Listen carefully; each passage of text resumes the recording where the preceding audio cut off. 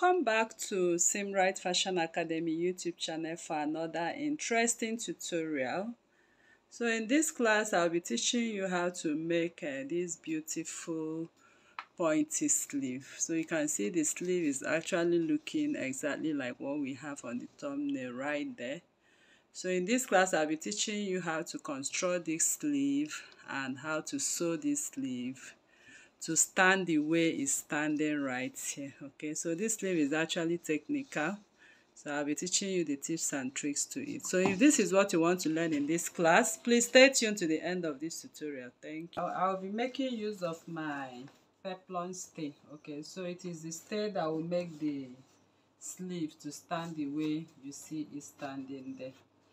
So I'm going to place my sleeve on uh, my peplum on fold once I place it on fold I'm going to take the measurement of six and a half inches okay? So you take the measurement of six and a half inches.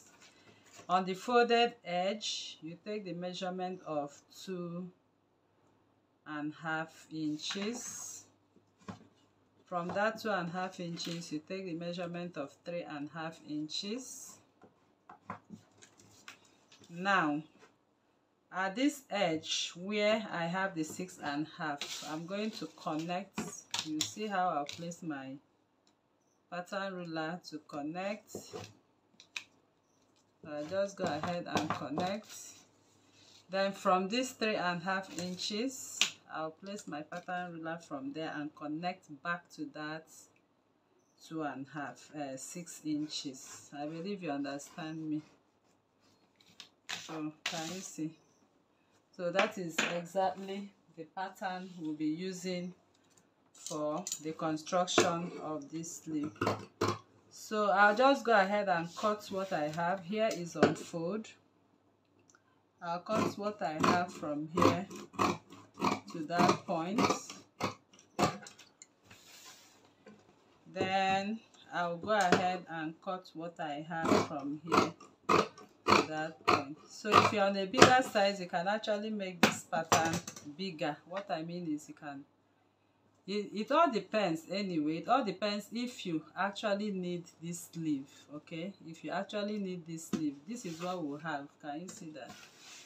So if you want it to be longer than what we have then you can go ahead and extend here and still connect here. So at the end of the day once we fix it on the sleeve this is what we are going to have.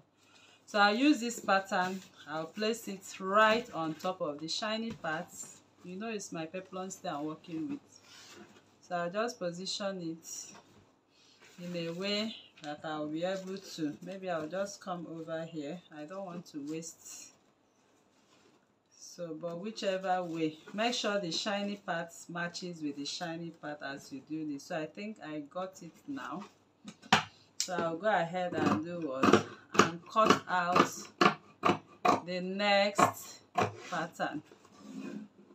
So i just cut out the next pattern. As you can see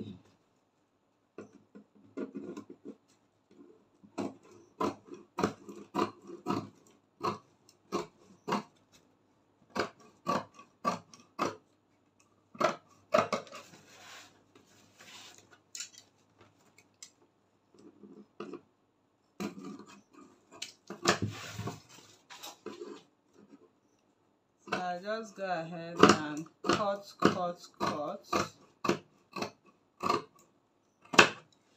Alright, so that is the pattern. So the next thing we will do is to bring the piece of fabric here. So I'm adding my seam allowance. I'm adding my seam allowance all around as you can see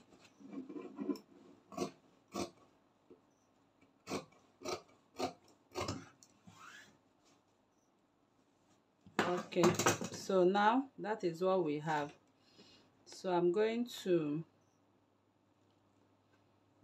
i'm going to place still place this and s and iron okay? So this one will stick to this. In fact this is how i'm going to sew.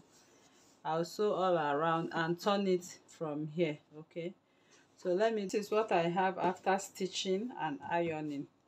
So I'll just go ahead and top stitch. This part I have is the part that that will be the main part and this part will be the lining. It does not have any stitch. So I'm going to flip all the line all the seams now and go ahead and top stitch. So I will do that give it a good press then so now I'm done sewing the both of them. So you can see these are for the both sleeves okay? I have to place my sequin which is the fabric I'm working with so now I'll come into the shoulder head and I'm going to place this can you see?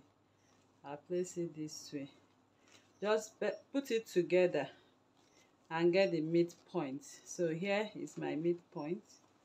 I'll put my pin it secure it with my pin. So I'll go over to my machine now and sew to the end and sew to the end. You can see. So at the end of the day you can see what we have for our sleeve. So now I want to sew the basic sleeve okay? So to sew the basic sleeve I'll just turn everything this way. Then I'll come in with my sleeve. I'm going to come in with the sleeve that is supposed to be on this part okay? So this is supposed to be for this because I made my notch.